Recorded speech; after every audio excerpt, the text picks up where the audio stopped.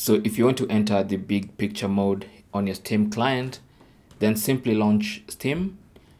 And then one way you can do it is by clicking on the big picture mode icon in the upper right corner. So this icon right here. So click on that.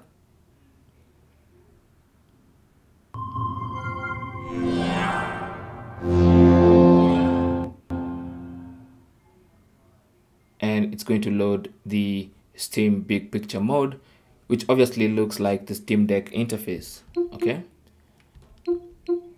Now I'll quickly exit that. And to exit this, you can press the escape button on your keyboard. That brings up the main menu on the left. Then click on power.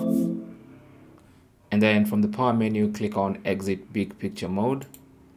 And that's going to exit the big picture mode. Now, another way you can do this is with the Steam client open, go to the taskbar and right click on the taskbar and then click on big picture and that should reload Steam in big picture mode. Now, if you want Steam to be loading in big picture mode every time you start Steam automatically, then you can go into the Steam settings. So click on Steam on the top left corner of the client and select settings. On the settings window, click on interface and then under interface go ahead and check start steam in big picture mode. So if you check that and then click ok you're going to save that setting. And now every time you start steam it's going to start in big picture mode uh, automatically. It's as simple as that. Thanks for watching. Leave your comments and questions down below and good luck